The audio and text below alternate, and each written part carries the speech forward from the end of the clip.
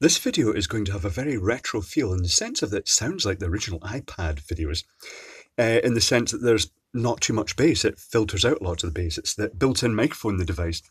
I'm also going to take a lamp to bits, and I've taken a lamp to bits in a while, have I? can't think of the last time I took a lamp to bits. So this is a, a 6 watt Poundland lamp under the Electrek brand. So the first things I'm noticing here Tooth test, that is plastic. Does it come off? Should I test it first? Oh, no, it's not coming off. It's well glued on. Okay, let's get uh, these bits out of the way and test this.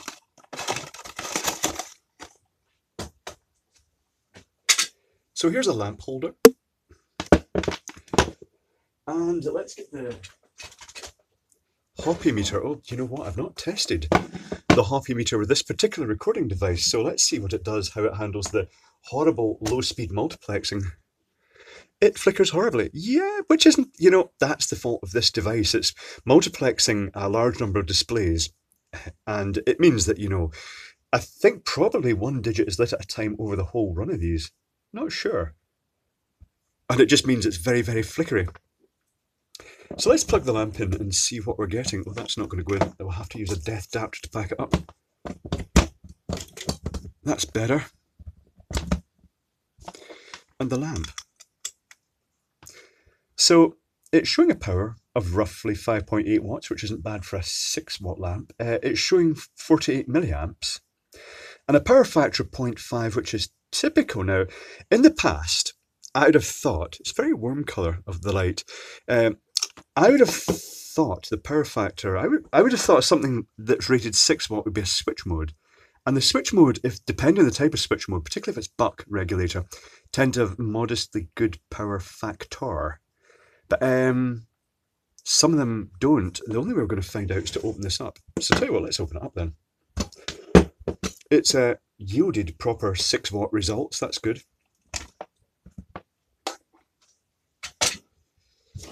These out the way and see if I can spudge this open. If this doesn't open easily, which it might open easily, oh, oh, yeah, this isn't promising, is it? I may have to use unreasonable force and try not to burst my pudger and spudger in the process. If this doesn't open quickly, I will do what I normally do and just jump cut to having shredded it apart already. Mm, it's not looking promising. I get the feeling this is going to break in the process. Colour temperature of the picture, worth mentioning, it's very hard finding a setting that actually looks right. And I think the problem is these LED lamps up here are putting out a very odd colour that isn't, you know, if you put this to automatic uh, color balance, it kind of works, but it keeps seeing the uh, background as being this sort of off-white color and it tries to match and you get sort of very weird results. Yeah, I think I'm going to have to pause to get this open because I don't think this is going to open anytime soon. One moment, please. So as predicted, that was quite hard to get apart. I have smashed it apart. I've also extended these wires so we could do some little electrical tests. The power supply is a capacitive dropper. I wasn't expecting that. The LED panel itself is a usual aluminium backed panel with the thin shim of the fiberglass on this side and then the copper tracks. And uh, the housing, the reason it was so hard to get out is because it's not just clipped in by a very sharp edge. You know, it's instead of being ramped, it's quite a, a distinctive stepped edge. But it's also uh, glued in with a, a silicon goo that is also used to uh, stick this aluminium insert in, which uh, this couples at the edges onto that aluminium insert and it takes some of the heat down to help dissipate it because uh, it is, after all, a 6 watt lamp, which is quite odd. So the capacitive dropper, let's, uh, the circuit board here is notable. Uh, the I extended leads because uh, they were really short and they snapped off. Um, and I want to actually put the clamp meter around this to test it, but the circuit board is clearly designed to have a little tab out this end that maybe was designed to poke through a circuit board and then solder onto the circuit board directly with no wires. But they've just cut that off and they've connected the wires direct onto component leads here. So let's uh, reverse engineer this. It's not going to take that long. It's a very classic capacitive dropper circuit. So we've got the two connections coming in. They are marked live and neutral. However, note that uh, in the UK bayonet cap lamp holder, the outer metal case is not an electrical conductor. It's just a mechanical structure. The two contacts, live, neutral, neutral, live, whichever way around they end up, are on the back here. So they can be either polarity really. So we have, let's just mark it as a sine wave to show the mains coming in. Um, the first thing that happens is it goes through this, which could be an inductor, could be a resistor. Uh, and that's the live, so we'll draw it up there. Now let's test what that is before I go any further. I don't want to say it's a resistor, I'm going to guess it's a 10 ohm resistor. Because uh, quite often they'll use a 10 ohm metal film resistor as a kind of fusible resistor. So let's uh, try and get a good connection onto this. Yeah, giving the slight uh, drop in the leads as well, that's, yeah, that's a 10 ohm resistor as far as I'm concerned. That's good enough.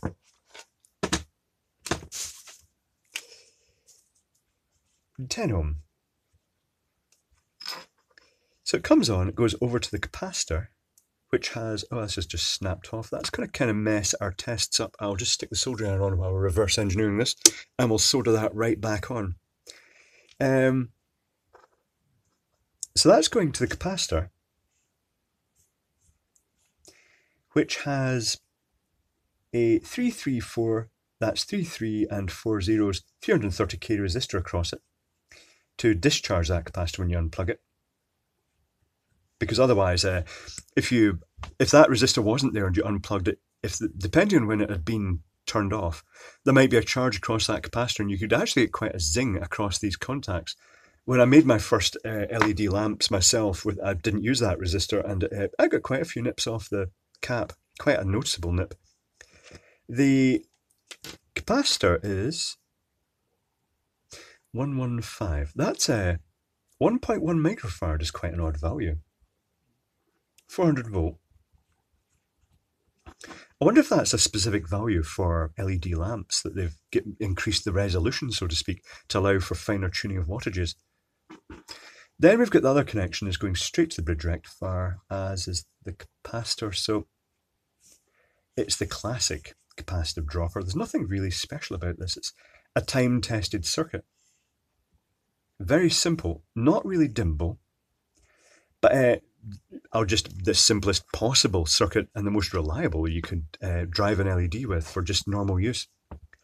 So the output of the bridge rectifier goes to the electrolytic.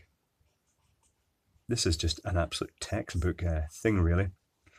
And there's another resistor, 334, another 330k resistor across that. So that's 330k this time, it's not to so much discharge the capacitor. It, it will have that effect. It means that when you turn the lamp off, it won't sort of go down and then fade the last wee bit really slowly because the LEDs will light quite brightly even at microamps.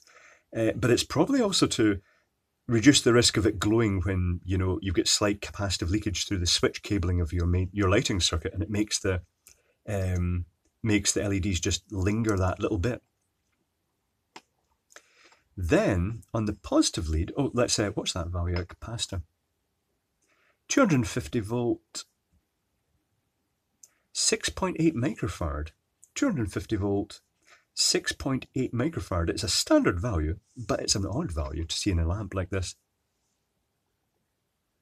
Then we've got a resistor from positive to the output, and then the negative to the output is just soldered straight onto the electrolytic. So um, it's lead. So that resistor is green, black, black, silver. Uh, green is 5, black is 0. Uh, the third band is black, it's a multiplier, it's a 0, so it's not multiplying. Silver's 10% tolerance, that's a uh, 5, it's 50 ohms. Let's test that, shall we? And then it just goes through all the LEDs. I'll just draw three LEDs. There's 10 LEDs, but they might be multi-chip LEDs. Well, they almost certainly will be multi-chip LEDs lazy LEDs with slightly phallic, phallic arrows pointing off them. Um, meter. 200 ohm range will do that nicely. Let's uh, measure that resistor and see if it is. Uh, what I think it is, roughly 50 ohms.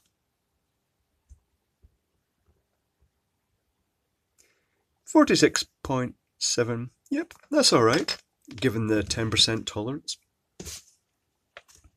So let's uh, solder this lead back on. Yep, that's the circuit. It's just classic. This capacitor here is, uh, well, this resistor is doubling up as the inrush limiter, and it's also going to blow like a fuse if the thing goes short circuit. The uh, capacitor here lets through a small portion as it charges and discharges in the AC waveform.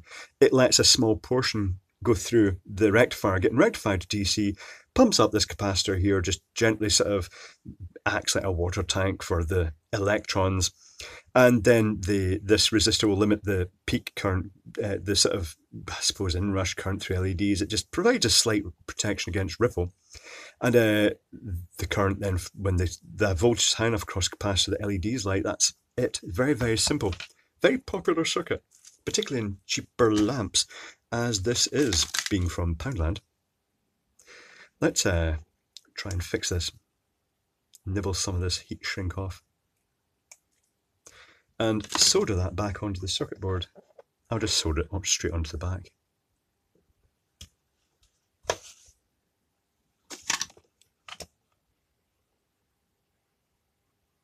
So I'll put some solder on that. Reflow that so it's got some juicy lead-based solder. Down with lead-free solder. Oops. Slippery capacitors. And solder that on there. Okay, now we're ready to do tests. And the first test I'm going to do, well, let's power it up. See if it actually works now. In comes a Quicktest. Since people will ask, you can get these in the UK from most of the electronic distributors. There's one guy selling them in America, Andy. I shall put a link to his uh, webpage below. He's selling them with the American and Canadian colours. And he, uh, he mentioned recently he's got the three phase ones in there as well. So let's put that in there that in there. Quite expensive devices, but you know what? In a workshop environment, they're just really useful. So let's see if this goes bang. No, it's lit very brightly. That's nice. Okay, so let's uh, start. Let's do a test. Let's do the clamp meter. In comes a little clamp meter. The one that I'm just taking such a shine to. I like this clamp meter. It's cheap and very, very functional. It's really, it's the first as far as I'm concerned, it's the first really affordable uh, clamp meter with the DC uh, function in the clamp. So I'm going to select DC on the clamp. I'm going to zero that out. And then I'm going to power it up and we'll see what current's going through the LEDs. 27 milliamps. Okay. Reasonable enough. Uh, what voltage is across LEDs? This is where I could have stuck a set of leads into this, but uh, I'll just grab my usual meter for that.